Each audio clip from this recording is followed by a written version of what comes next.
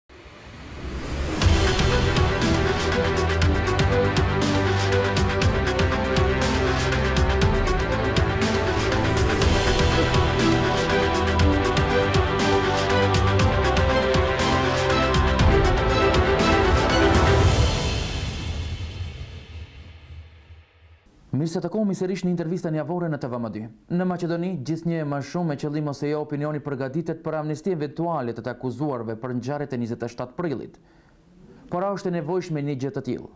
Çfarë fiton e çfarë humb vendi me mbylljen e syve për dhunën e shkaktuar në Kuvend? Përgjigje do të na jep profesoresha universitare për çështjet juridike penale, Besa Arifi. Mirë se takohemi Besa Arifi. Arifi si juriste dhe eksperte, madje që e njeh në thelb aktakuzën e ngritur për njëzet e shtatë prillin, a duhet të ketë amnesti për këtë vepër penale?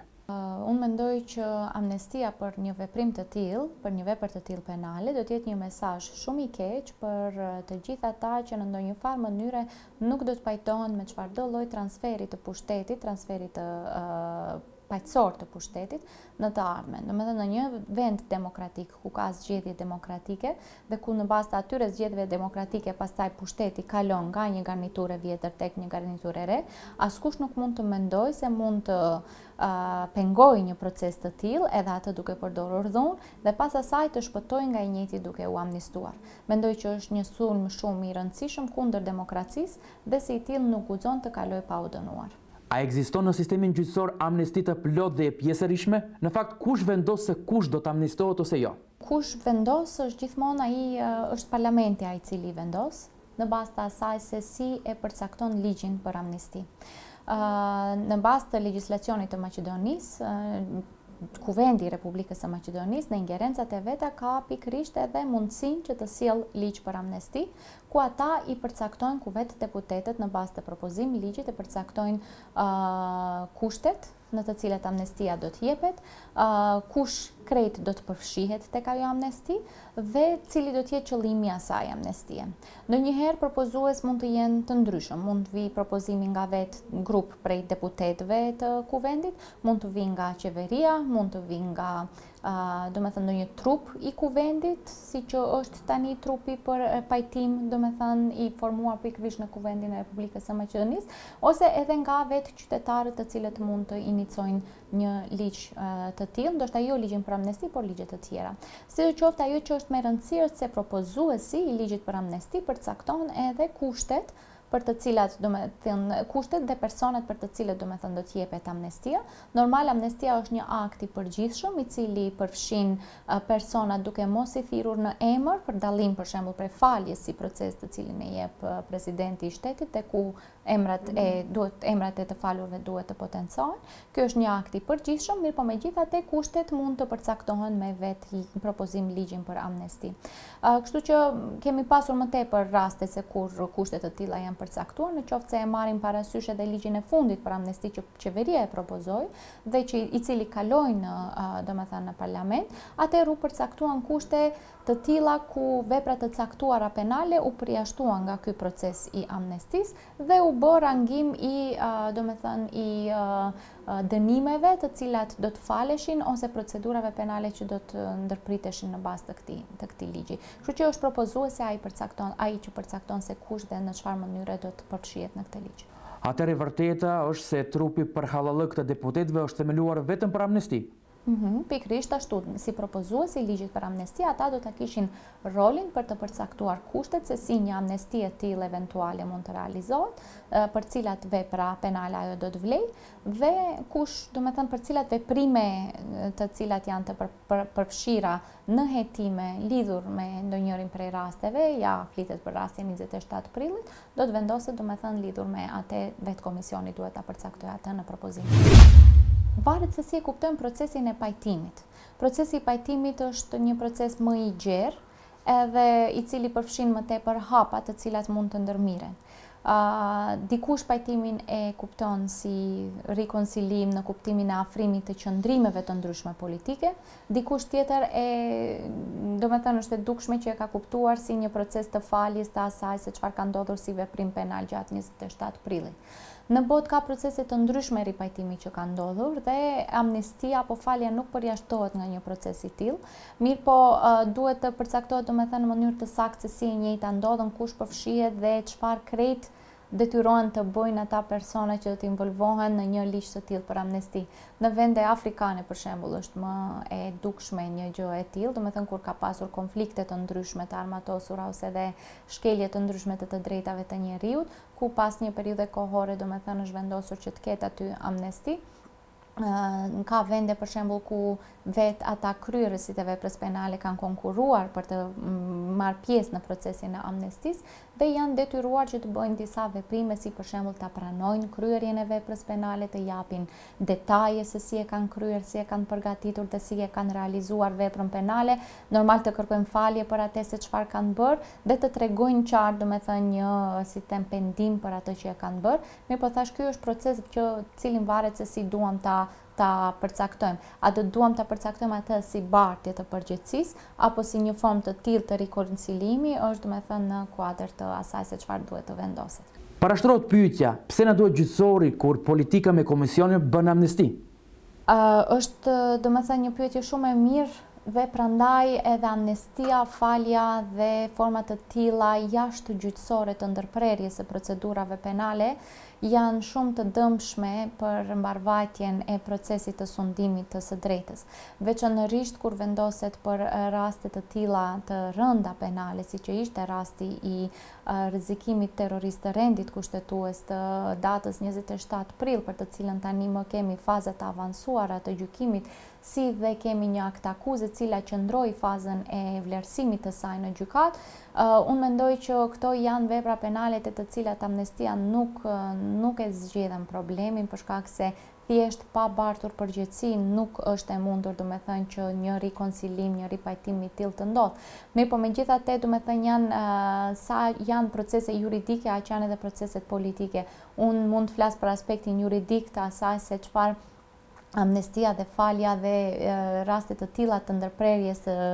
jashtëgjyqësore të proceseve gjyqësore kanë të bëjnë me me me drejtësinë dhe me vendosjen e përgjegjësisë penale, vendosjen e sundimit të ligjit, domethënë ato janë direkt të dëmshme për vetë procesin e bartjes së përgjegjësisë dhe mendoj që po ashtu janë të identifikuara si momente shumë të rëndësishme në raportet ndërkombëtare të cilat ne i kemi marrë edhe nga Unioni Evropian, edhe nga miqtë tanë strategjikë ndërkombëtarë, të cilët jo vetëm që thonë se duhet të bëjmë zgjedhjen e këtyre rasteve, por thonë se ne i kemi patjetër, jemi të detyruar të zgjedhim raste që lidhen me njëzet e shtatë prillin dhe me Prokurorinë Speciale. në mënyrë që të vërtetojmë se sundimi i ligjit funksionon në Maqedoni. Çdo veprim përkundër kësaj, unë mendoj që juridikisht neve na dëmton shumë si vend, për shkak se thjesht përgjegjësia penale për këto veprime kaq të rënda nuk mund të vendoset. Cila është arsyeja që ekzekutivi ndal ka ndal po ndryshon mendjen për dhunën e shkaktuar në Kuvend? Në aspektin politik, Mund të ketë arsye të ndryshme që lidhen me, ku e di unë, me shumicën parlamentare, me procese tjera politike të cilat janë të rëndësishme për vendin. Do të thotë është shumë e qartë që shumica parlamentare e krijuar, domethënë nuk ishte lehtë që të krijohet, nuk është lehtë që të ecë përpara marrëveshja e Prespës nuk është lehtë që të ecet përpara në në procesin e integrimit në NATO dhe në BE, mirëpo megjithatë ky proces duhet parë si diçka paralele me vendosjen e përgjegjësisë Në njërën anë, domethënë kur vendosim një mundësi politike për të ecur përpara, nga ana tjetër mendoj se na dëmton shumë edhe kjo mos pasja mundësi që të vendoset përgjegjësi penale dhe sundimi i ligjit që është faktikisht njëri ndër kushtet për integrim në NATO dhe UE.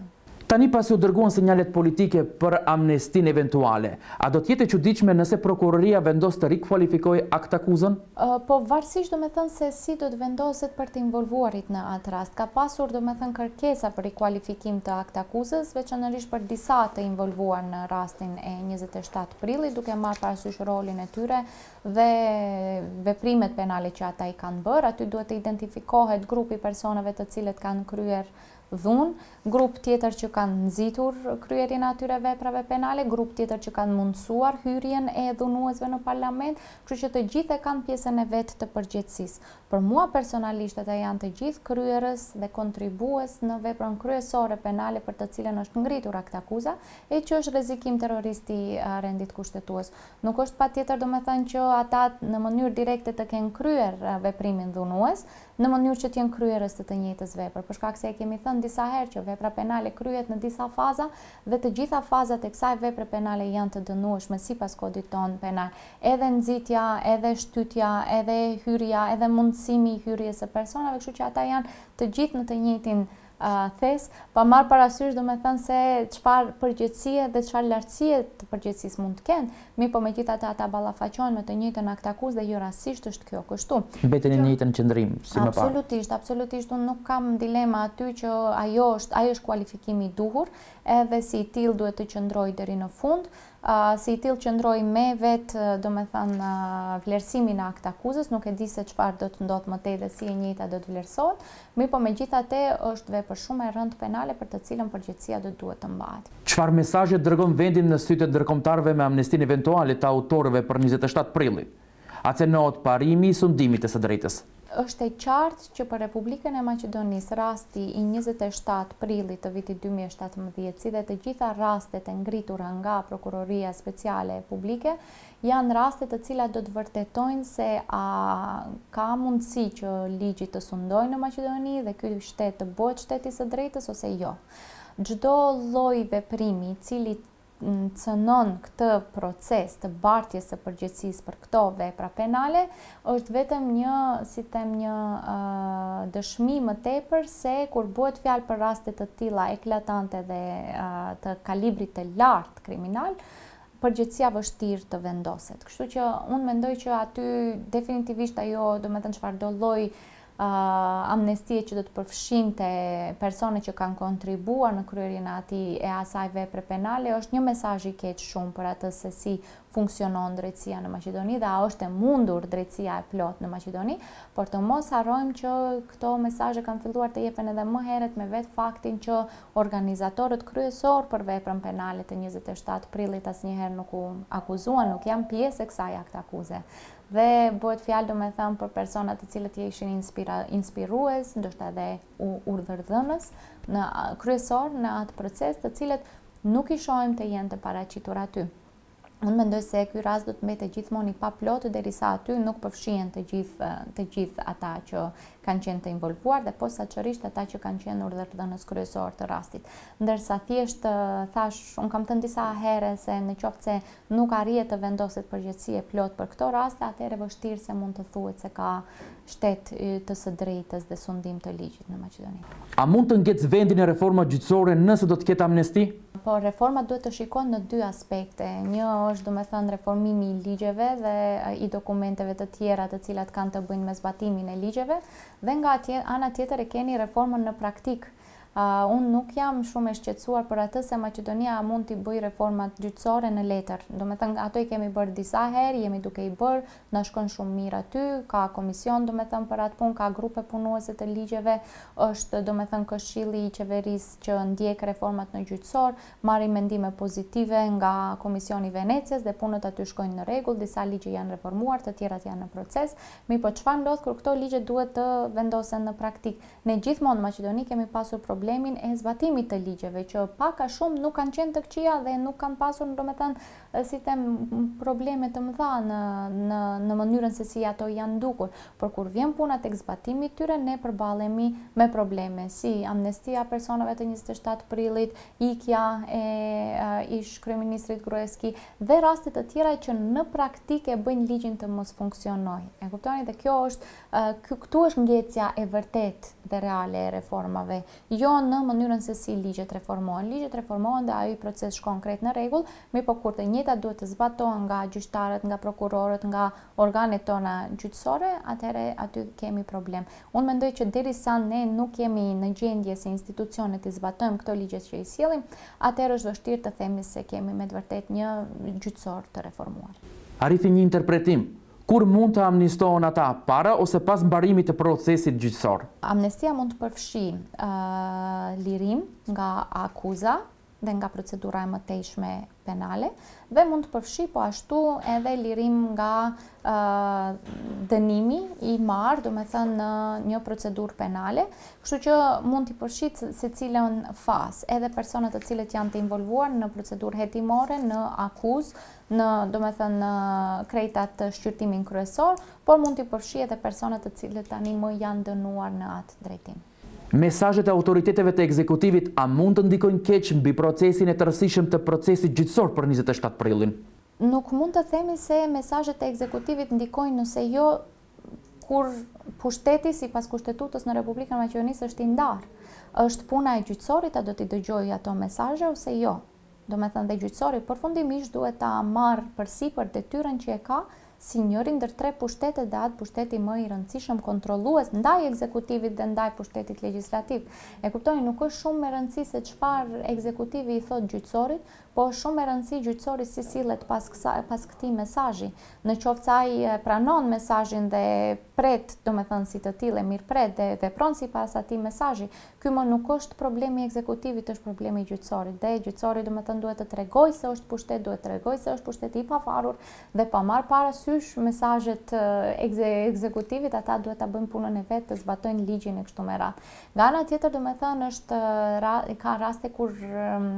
ekzekutivi dhe legjislativi kanë mundësi reale të ndërhyjnë Dhe kjo bëhet përmes ligjit për amnesti dhe aty gjyqësori më nuk ka çfarë të bëjë, domethënë në momentin kur ju keni ligj të sjellur në parlament dhe me atë e ndërpritni procedurën penale, ajo është diçka tjetër, mirëpo nga ana tjetër domethënë në rastet efektive për të cilat nuk ka amnesti, aty domethënë mesazhi i ekzekutivit nuk ka shumë rëndësi, më shumë rëndësi ka veprimi i vetë gjyqësorit. Arifi, Nëse ka amnesti për kryerësit e njëzet e shtatë prillit, a mendoni se duhet të ketë amnesti edhe për proceset e montuara gjyqësore ndaj shqiptarëve? Unë mendoj që mesazhi i cili jepet me një amnesti të tillë në rastin e njëzet e shtatë prillit hap dyer që të krijohet që të kërkohet amnesti për raste të tjera të cilat involvojnë terrorizëm. E kuptoni, domethënë për shkak se akuza është e njëjtë. Edhe këtu keni rrezikim terrorist të rendit kushtetues, dikundi tjetër keni terrorizëm si vepër penale kundër rendit publik dhe kështu me radhë, domethënë terrorizmi është terrorizëm pa marrë parasysh kush e bën atë dhe nuk mundet dikush të përcaktojë se dikush është më shumë terrorist se sa dikush tjetër. Dhe kur e hapni atë derë me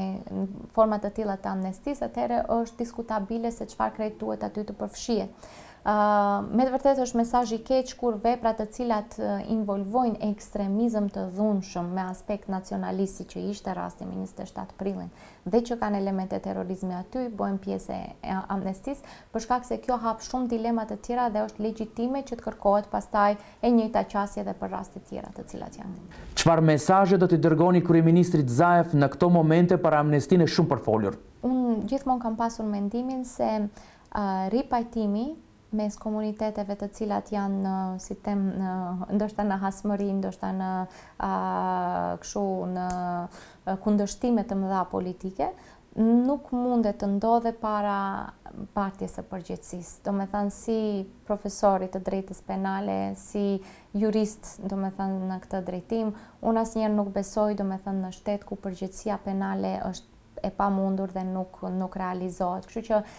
vetëm pas bartjes së përgjegjësisë, vetëm pas pranimit të fajit për atë përgjegjësi penale, vetëm pas sqarimit të asaj se çfarë ka ndodhur me 27 prill dhe identifikimit të krejt personave të involvuar aty duke përfshirë aty edhe urdhërdhënësit kryesor edhe ata që kanë qenë porositës të asaj vepre penale, vetëm atëherë mund të flasim për çfarëdo lloj rikoncilimi, ripajtimi pasi përgjegjësia të jetë vendosur. Asnjëherë vendosja e ripajtimit nuk është e mundur pa bartje të një lloj të përgjegjësisë dhe unë mendoj se ky balans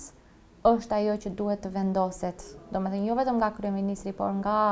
institucionet shtetërore. Domethënë duhet pasur balans mes proceseve politike dhe bartjes së përgjegjësisë. Në qoftë se ky balans nuk arrin të vendoset atëherë asnjëri prej proceseve nuk do të jetë i suksesshëm, kështu që unë mendoj se institucionet kanë kapacitet të vendosin një balans të tillë, vetëm duhet të kenë edhe vullnetin e duhur për ta bërë atë. Arifi, ta thjeshtojmë në fund. A i porositni Zaevit që të mos ketë amnesti? Unë porosis, domethënë porosia ime është që të mbartet përgjegjësia penale dhe pastaj të vendoset pas asaj se çfarë do të bëhet më tej. Zonja Arifi, faleminderit që ishit pjesë e intervistës javore. Faleminderit juve. Të nderuar shikues, faleminderit që na ndoqët, bashkë mirupafshim javën e ardhshme.